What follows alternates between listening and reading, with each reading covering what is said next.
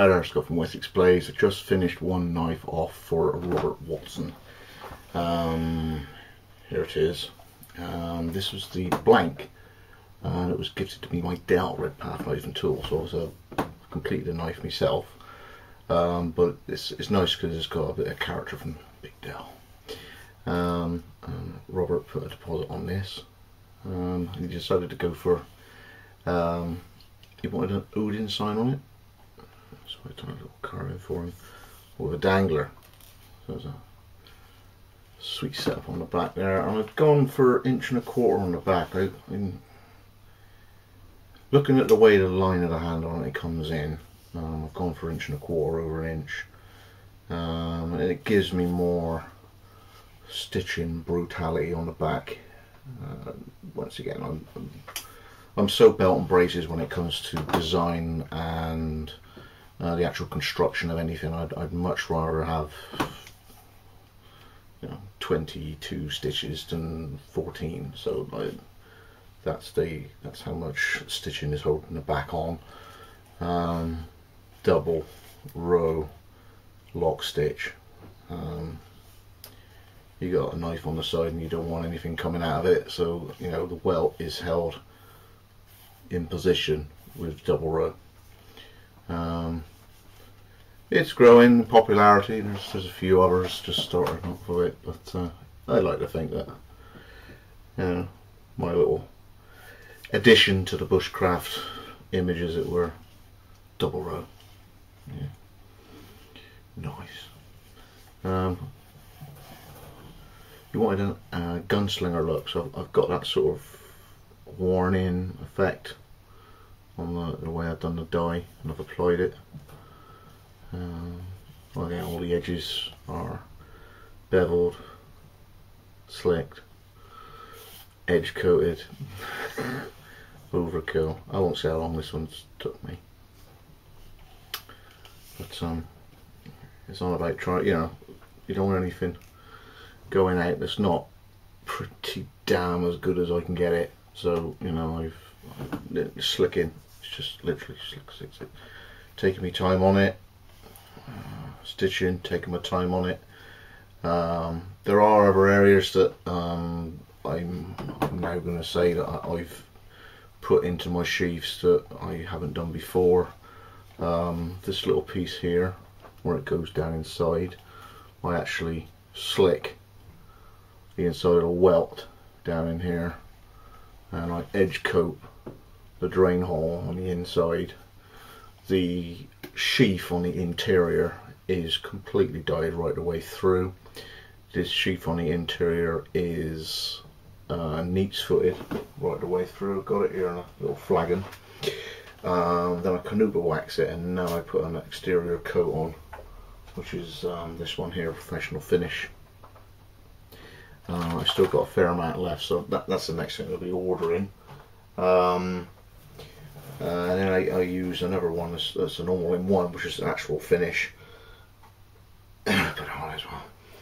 So as far as weatherproofing, I, I can't really put much more on it other than coats upon coats upon coats upon coats. Um, I, I had a few test pieces just using Carnauba wax and I wasn't really happy with it. The water beads up and it marks the, the finish. So the, the wax is in there just to sort of just add something to it. Um, but then I've actually put an exterior grade sort of waterproofy finish on it. Um, so all the edges are beveled and slicked so there's no raw edges on any of it. Um, it's lock stitched, would go up and then back on myself three and four and then flamed it and then with my little thing like that. So I'm dressing the, the thread back down again while it's still soft. Um, the leather carving obviously designed to fit that sheath so obviously the artwork had to be sized up sized down rationalized to some degree in order that it would it would blend with what I'm doing. But I'm quite happy with it. I think it's quite a distinctive sharp sort of design that can be seen. Um, I didn't go crazy on the branding so I've just got a tiny little I just got my little white markers my maker's mark on the side there. Um, it just gives me something on the belt that it's not emblazoned Wessex blades everywhere. I think it's quite discreet. Um, anyway, the knife itself, it's, uh, it's got a walnut set of scales on it.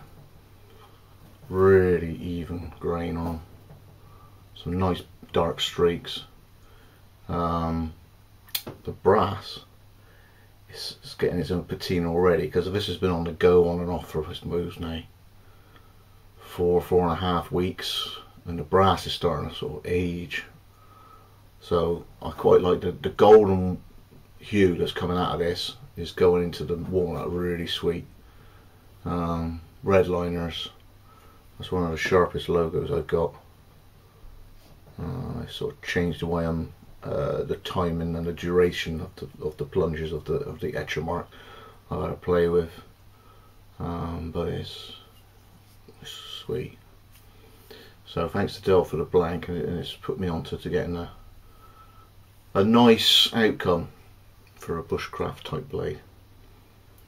And again steel's 52 100 I don't use 01 most of my stuff but this one this one's 01 so it's bathed in oil um, and, um, and inside the sheath is actually I sprayed WD and, and 3 in 1 in there so it's, it's when it gets warm um, you will actually get a bit of a, a bloom of oil onto the blade anything to stop it rusting.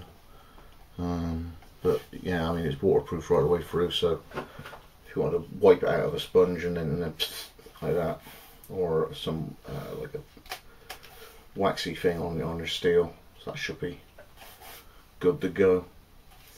Um, I like to think that my sheaves now are just a little bit above what the average clone lore knife would be. Um, just gradually moving forward. Um, yeah so, so I've gone with inch and a quarter on there now. Double row stitching. It's just just belt and braces it's you know when when you consider someone's they're not they're not paying 50 pound for this they're paying you know in the region of 100 200 pounds for for a product you really want the sheath to reflect it in as many ways as you can and sort of even up the, the difference in investment that's been between the blade and the sheath um, you know, it's like having a really nice car and putting a 900 three-cylinder engine in it. It's, it's not, it just doesn't work in my head. So um, I think it's a nice, I think it's a balanced um, union of knife and sheath, and uh, just looking forward to moving forward in the next sort of two weeks. Um, my plan is because I got Funky's meet next weekend. I got a week and a bit. Um, obviously Mitchell's home, so we're trying to spend time with Mitch. Um, but looking at the calendar, I only got just over just over a week. Um, so what I'm going to do, if people could bear with me on orders, um, I can accept maybe five more orders before I close my books again. Um, but for the funky meet, what I want to do is get some knives up to sell. Um, and quite what I'm going to do, yeah, I haven't quite decided, but I'm probably going to do, I'm thinking of doing Jackals, which is a survivor knife, um, rather than totally bushcraft because uh, it's a prepper meet as opposed to a wilderness gathering if that makes sense. So I you know I can leave your comments at the end of it. If anybody's going and they actually really want uh, something specific uh, I think today would be a good idea um, with the vid up. If you're definitely going and you're really interested in something for me to bring completed um, leave a comment on it because it'll give me a, an indication of what direction to go over the next week to get something finished for uh, the funky meet. Um, my limiting thing is I take so long on the sheath. Um, I know Sandy was able to do um, sort of four in a week. There's no way in our world I can get four completed in a week. I, will be able to get three done. Um, quite what three I'm going to do is I'll leave it to the suggestion boxes.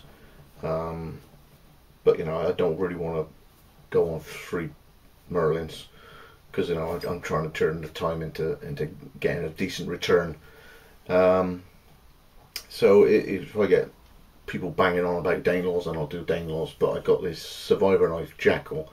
Um, as I say, the uh, it's a prepper me. It's sort of like survivalisty. So um, I'll leave you to leave your comments um, at the bottom as to if anybody was interested in uh, anything I'll have there.